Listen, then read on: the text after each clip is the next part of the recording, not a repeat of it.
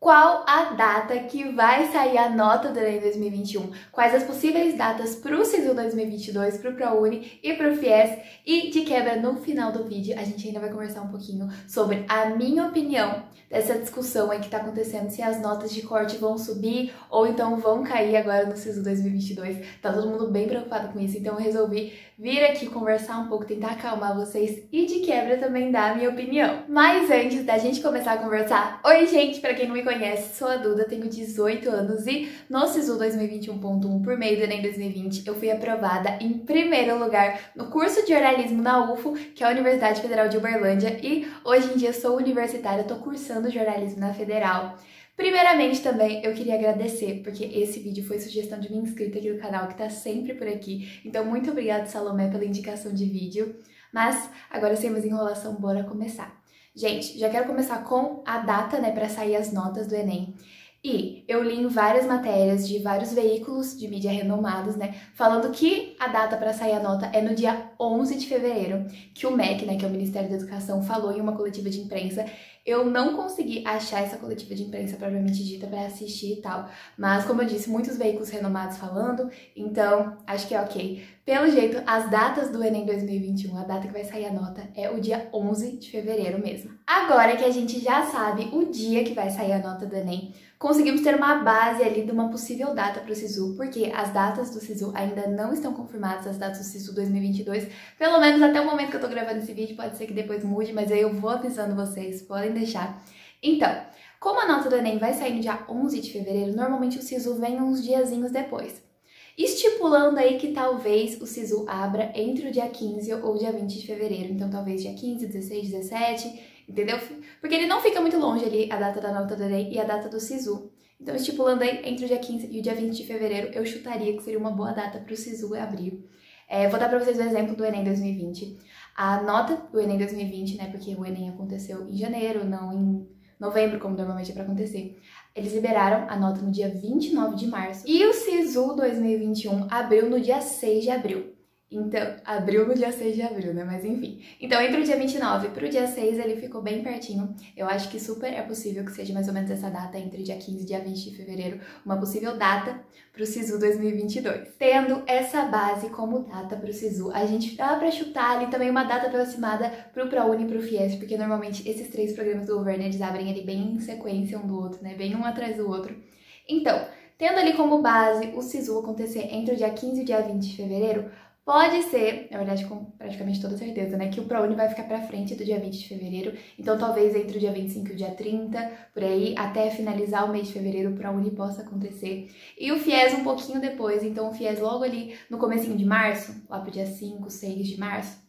Eu acho que são boas datas aí pra gente chutar do que vai acontecer. Mas eu sei que as datas que vocês mais estavam curiosos mesmo era realmente o, a data da, da nota do Enem e a data de abertura das inscrições do SISU. Acho que já dá para ter uma, uma noção aí para vocês se prepararem, né? Acalmar um pouco essa ansiedade, segurar esse coraçãozinho que eu sei que tá aflito. Falando em ansiedade, em coração aflito que a gente fica mesmo nesse período aí depois da prova do Enem, antes de abrir o SISU, não tem nem como. É, eu, quando estava aí no lugar de vocês, gostava muito de ver vídeos de nota do Enem, ou então vídeos mostrando como é o SISU. Não sei se me ajudava a me acalmar, ou então a me sentir mais preparada para passar por tudo isso também.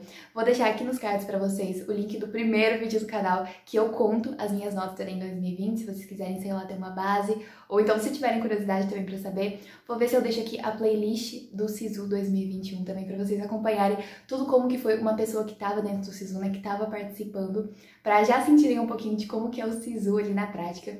Vou ver se eu consigo deixar tudo aqui pra vocês, caso tenham curiosidade e queiram ver. Mas agora vamos lá. Vamos falar de um assunto, né, de uma questão aí que surge todo ano depois da prova do Enem, pelo menos no ano passado foi exatamente a mesma coisa, né? Na verdade, no ano passado não, no começo desse ano. É que, gente, o fato do Enem 2020 ter acontecido em 2021 ainda me deixa muito confuso, e olha que já passaram meses.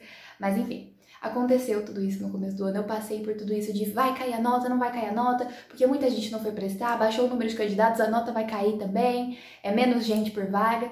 Então, assim, como uma pessoa que passou por tudo isso viveu, eu venho aqui dar a minha opinião para vocês e dar uma estimativa ali se eu acho, de acordo com a minha experiência, que as notas né, do CISO 2022 podem cair ou não, se elas vão se manter, se elas vão subir. Vamos conversar um pouquinho sobre isso. Já quero começar deixando claro para vocês que eu não sou muito fã dessa teoria de que não as notas vão cair com toda certeza, porque tem menos candidatos e a nota de corte vai cair, o SISU 2022 vai ser teoricamente mais fácil você conseguir a sua vaga e coisa do tipo porque eu fui uma pessoa que super acreditou nisso no ano passado.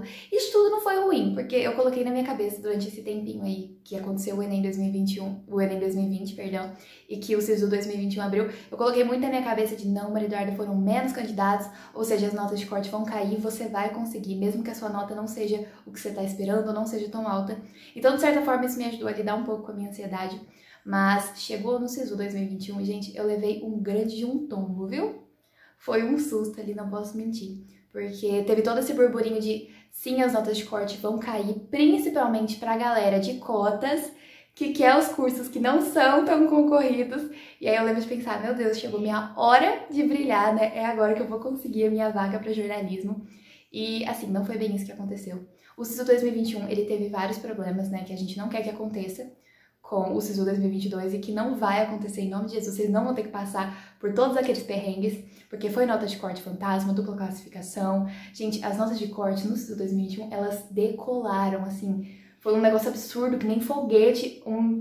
Juro, teve faculdade com jornalismo com nota de corte 750, 780, e eu fiquei assim, gente, o que que tá acontecendo? É, não que jornalismo sempre tenha sido um curso fácil de passar. Nada é fácil, gente, relacionado a Enem, vestibular, nada é fácil. Mas eu não esperava notas de corte tão alta, então foi assim, um baque. Muitas pessoas faltaram no Enem 2020, né? Porque ele foi o Enem que aconteceu no meio de todo aquele caos. É, acho que eu nem preciso falar, vocês já sabem, vocês devem ter acompanhado. E assim, foram menos candidatos também. Eu sei que no Enem 2021 foram menos candidatos ainda, mas eu de verdade acredito que as notas não vão cair que elas vão se manter ou talvez subir um pouco. Gente, aí vocês não têm noção do quanto que eu queria. Vocês sabem que o canal é assim, eu venho aqui como alguém que tava no seu lugar e eu tento motivar vocês, eu tento trazer um pouquinho de leveza para essa fase da nossa vida que é tão complicada, né, de Enem vestibulares. E eu sempre gosto de motivar e de ser portadora de boas notícias, mas eu também sou 100% transparente e eu vou ser sincera com vocês. Na minha humilde opinião, eu realmente não acho que as notas vão cair. Adoraria chegar aqui e falar, vai cair, todo mundo vai conseguir sua vaga, mas é complicado. A gente sabe que são poucas vagas para muitos candidatos e jamais que eu vou desanimar vocês, tenho certeza de que vocês deram tudo de si e tô aqui torcendo tanto, mas tanto para que todos vocês consigam a vaga. Mas eu não quero que vocês se iludam com isso, sabe? De já deu certo, a nota vai cair demais e eu vou conseguir. Vai com calma. Não tem como a gente falar agora se vai cair, se não vai. É assim, acho que ninguém tem bola de cristal para prever o futuro por aqui. Então, realmente, agora só nos resta esperar. Mas eu quero deixar aqui uma mensagem de apoio para vocês. Gente, eu tava aí no seu lugar uns meses atrás, tipo agora em abril eu tava passando por tudo isso e eu consigo entender. Eu lembro, sabe? Quando a, aquela memória que foi tão marcante, que ainda tá viva na sua cabeça, eu lembro de como foi passar pelo SISU, de como foi ouvir todo mundo falando que as notas iam cair e de quando as notas começaram a decolar e aquele medo de, meu Deus, não vai dar certo. E aí o SISU 2021, ele também foi adiado. Ele foi o SISU mais longo da história, durou nove dias.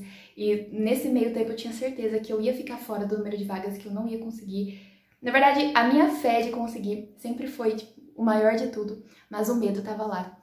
E eu sei o quanto a gente fica apreensivo, o quanto fica ansioso e o quanto é difícil esse períodozinho aí entre o Enem, sair a nota do Enem e depois começar o SISU. A gente normalmente não sabe muito o que esperar e não saber o que esperar dá medo. Porque eu já falei disso aqui no canal antes, mas somos humanos e o ser humano tende a ter medo daquilo que ele não conhece. E como a maioria de vocês não conhece o SISU, não sabe muito como esperar, a gente não tem noção de como vão ser as notas de corte esse ano, dá medo sim. Você fica apreensivo sim, é muita coisa que passa pela nossa cabeça, mas apesar de tudo, calma. Porque do mesmo jeito que a gente não sabe o que esperar e que as coisas podem ficar muito mais difíceis, a gente também não sabe o que esperar e as coisas podem ser mais fáceis. De repente, você foi tão bem no Enem e nem tá sabendo, você tá com uma nota incrível de redação e não sabe. Ou então, o curso que você quer, a universidade que você quer, vai estar tá no SISU, vai liberar mais vagas e você vai conseguir passar. Muita coisa boa ainda pode acontecer. E, gente, eu sei que o Enem acabe, que a gente tá exausto e que não quer mais ouvir falar a palavra Enem, siso, nota do Enem. Eu também fiquei assim, eu não queria mais ouvir falar de Enem na minha frente depois que eu fiz a prova. A gente fica esgotado. Mas ainda não acabou, tem mais um restinho de trajetória para vocês percorrerem. E o SISU é muita estratégia também, é muito você tá com a sua cabeça lúcida, você tá pensando direitinho para conseguir tomar as decisões certas, para conseguir tentar para as universidades certas e para garantir a sua vaga. Então, por mais difícil que seja, respira fundo agora e mantém a sua cabeça limpa, a sua cabeça em paz, porque você vai precisar. Eu sei que é difícil ficar calma agora, eu sei que os nossos sentimentos ficam à flor da pele, que a nossa cabeça não para um único minuto. Vai por mim, eu, eu passei, gente, eu sei como é estar no lugar de vocês. E nem faz tanto tempo assim, juro, na minha cabeça parece que foi ontem, mesmo já fazendo meses. Então, por mais difícil que seja agora, respira. Ainda tem muita coisa para acontecer aí.